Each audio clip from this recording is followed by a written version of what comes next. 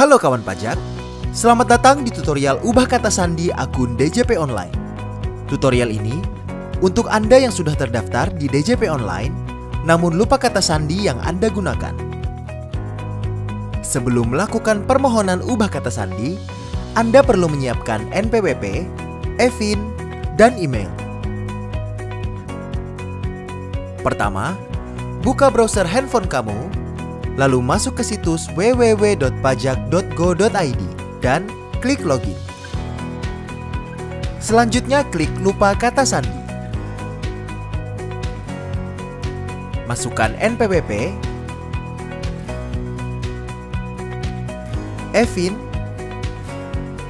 Jika Anda lupa dengan email yang digunakan pada saat pendaftaran, Anda dapat mencentang ya pada kolom lupa email lalu masukkan email yang baru. Masukkan kode keamanan, lalu klik submit.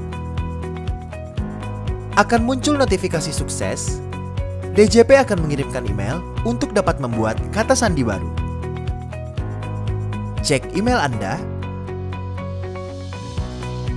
Buka email dari e-filing. Lalu klik ubah password. Masukkan kata sandi baru. Konfirmasi kata sandi baru kode keamanan, lalu klik submit.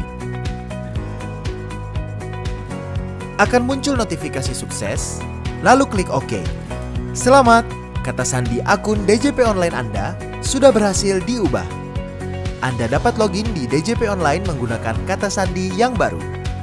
Jika Anda masih memerlukan bantuan, silakan kunjungi www.pajak.go.id atau telepon ke Kring Pajak 1500 200. Subscribe channel YouTube Ditjen Pajak RI untuk memperoleh informasi dan tutorial lain. Pajak kuat, Indonesia maju.